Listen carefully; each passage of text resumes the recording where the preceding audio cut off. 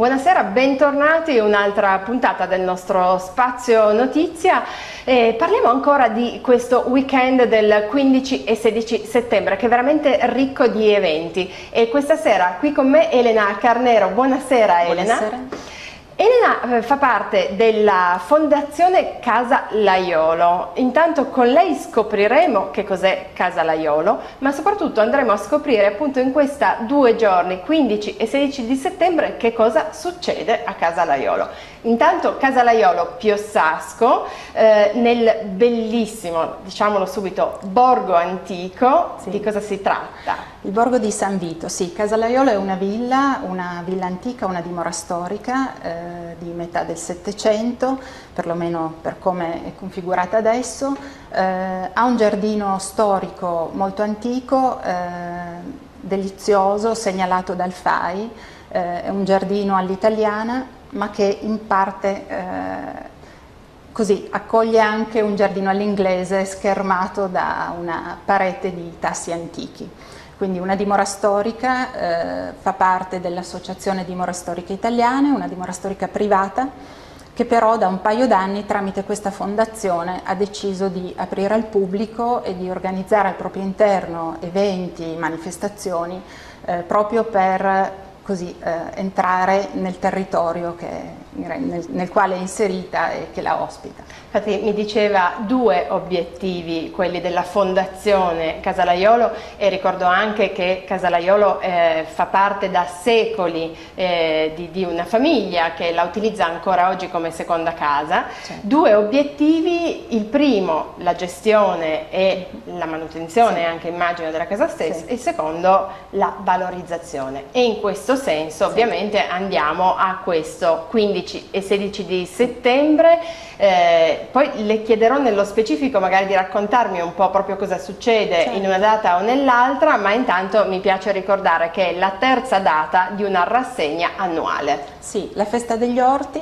eh, abbiamo pensato che eh, non fosse opportuno snaturare eh, proprio il così l'animo di questa casa, è una casa che ha comunque una vocazione agricola, era una dimora sì nobiliare ma di campagna e quindi Festa degli Orti è il tema che abbiamo dato a questa rassegna annuale. Eh, la prima data era, eh, era dedicata ai legumi, la seconda data agli aromi, questa, questa weekend, il 15 e il 16 di settembre, l'abbiamo dedicata ai frutti antichi, con un'attenzione particolare alle biodiversità quindi varie tipologie di frutta, ma in realtà eh, vari, eh, così, varie tipologie davvero per ogni singola frutta. Per conoscere proprio meglio. Esatto, soprattutto eh, così, la storicità di alcuni frutti, di alcune varietà che sono magari in quel giardino da, veramente da secoli. E si possono fare tantissime cose in questi due giorni a Casalaiolo. Io intanto ricordo che ci sono quattro mostre. Sì. Sono quattro mostre, le leggo perché altrimenti sì, eh, sì. magari dico delle cose che non sono corrette, ma una è pomologica, sì. una è sulle uve piemontesi, perché poi ovviamente insomma noi lì andiamo a parare giustamente, esatto. una sui campioni di frutti in ceroplastica, che questa già deve essere una cosa interessante, particolare. Questo è, eh, in virtù del fatto che ospite d'onore di questi due giorni è il Museo della Frutta di Torino, eh, museo eh, che così eh, esiste grazie al lavoro di Francesco Garnier Valletti, uh-huh. eh, colui che ha un po' inventato la tecnica appunto di ceroplastica per il, la modellazione di frutti, eh, esattamente come sono in natura, destinati soprattutto ad un obiettivo di didattica. Mm -hmm. Quindi esistono veramente migliaia e migliaia di frutti riprodotti in ceroplastica.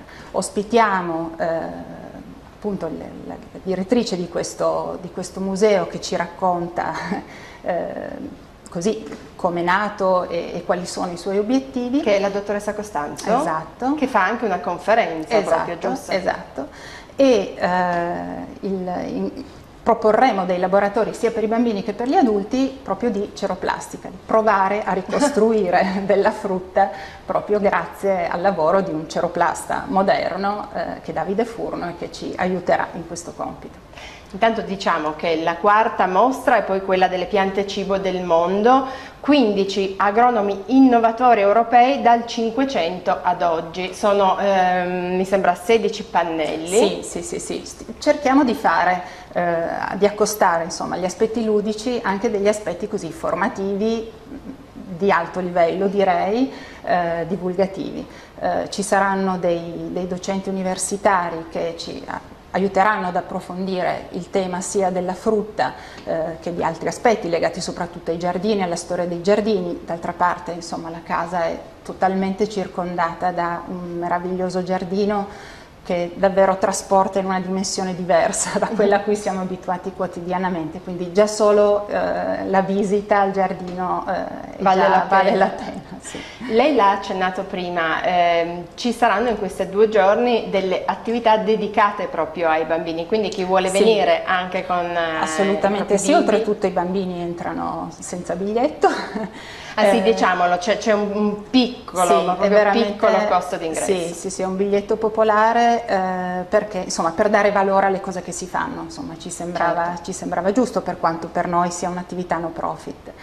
Eh, I bambini avranno modo di provare anche loro a paccioccare con la cera per costruire i propri frutti, ma potranno costruire anche eh, del cibo per gli uccelli, del cibo invernale per gli uccelli, potranno lavorare scoprire la propria araldica eh, grazie ad un laboratorio di araldica, quindi un magico bestiario, quindi prendendo spunto dai, dai laioli, ecco, casa mhm. laiolo perché il laiolo certo. in piemontese è il laiol che è il ramarro quindi eh, questo un po' in, in onore al, allo stemma della casa.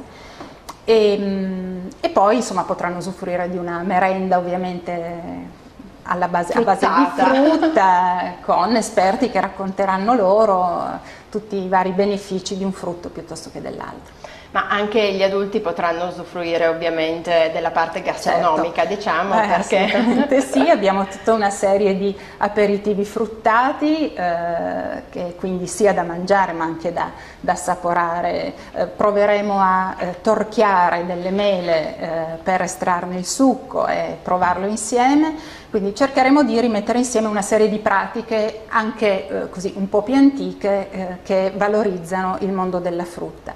In più, in collaborazione con i due ristoranti del Borgo, eh, per il sabato sera abbiamo organizzato delle cene a tema frutta naturalmente, ma in più con degli esperti che durante la cena racconteranno e spiegheranno eh, tutti insomma, i valori anche nutrizionali della, della frutta. Quindi degustazioni, conferenze, attività per bambini, ma non solo. Ha già accennato appunto che c'è la possibilità di una cena il sabato sera, sì. ma ehm, Oltre a questo anche degli aperitivi letterari. Sì, con presentazione di libri eh, sempre ovviamente inerenti al tema dei giardini eh, e della frutta, in particolare facciamo un omaggio ai fratelli Roda mm -hmm. che erano i giardinieri di Carlo Alberto. Ehm, con gli questo, autori però, le presentazioni con gli autori? Con, sì, con chi ha curato l'introduzione e okay. la prefazione certo. al, al, testo. Ehm, Altra cosa, eh, ospiteremo uno spettacolo teatrale, Il Giardiniere del Re, in collaborazione con la Casa del Teatro Ragazzi di Torino, eh, insomma una bella occasione, questa è una rassegna organizzata insieme alla città di Piossasco, eh, il Borgo risuona proprio mm-hmm. per coinvolgere tutto il Borgo in questo weekend, eh, anche questo sicuramente è un motivo così di attrazione. Un'altra cosa, non so se l'abbiamo già detto, non lo ricordo sinceramente, ma mm, mi aveva colpito quando ho letto il programma è la visita al frutteto. Sì. Perché sì, immagino che comunque casa Laiolo sì, abbia... ha un bellissimo orto e attaccato all'orto a questo frutteto dove Carlo Pagani, questo insomma, maestro giardiniere, ci aiuterà a conoscere meglio le piante da frutta, individuarne eventuali patologie e darci una mano anche a capire per le potature quindi sempre più vicini alla natura sì. e proprio a chilometro zero nel vero senso della parola questa sì. volta. Sì, Ricordiamo anche c'è un sito per tutte le informazioni. Sì, www.casalaiolo.it, c'è tutto il programma, più di così. Eh, Ritorniamo un, un attimo a sì. quello che abbiamo detto a inizio della, della nostra puntata, quando abbiamo parlato di, eh, degli obiettivi di sì. Casalaiolo, sì. ehm, soprattutto dal punto di vista gestionale. Io immagino che sia potente il lavoro oneroso eh, appunto noi facciamo parte di questa associazione dimore storiche italiane che mette insieme i proprietari delle dimore storiche sono dimore che eh, spesso e volentieri creano più problemi che, che piaceri e hanno eh, ovviamente il tempo sulle loro spalle e quindi i lavori di manutenzione sono quotidiani. Siete in tanti a lavorare per la fondazione? Mai abbastanza. Facciamo un appello ora ecco. in questo senso. C'è un gruppetto in questo momento, ognuno con le proprie competenze, ci sono 4-5 persone che ruotano attorno alla casa e che cercano di, di portarla avanti nel miglior dei modi. E poi c'è chi si occupa appunto di programmazione in questo, insomma, anche la proprietà. La dottoressa Elena Carnero, per esempio. Una dei, ma non, la, non l'unica. La proprietà sicuramente ha delle visioni molto lungimiranti e, e, in questo siamo riusciti a preparare dei progetti interessanti che sono stati anche sostenuti da delle fondazioni bancarie questo ci dà ovviamente un po' più di respiro e di sollievo per poter portare avanti delle attività che insomma come questa come per questa. esempio esatto. quindi noi Compagnia di San Paolo ovviamente in primis è colei che sostiene è sempre molto presente la Compagnia di San Paolo sul territorio sì, fortunatamente sì, fortunatamente dal dire... punto di vista storico artistico sostiene direi sì. dei bei progetti Grande Presidente.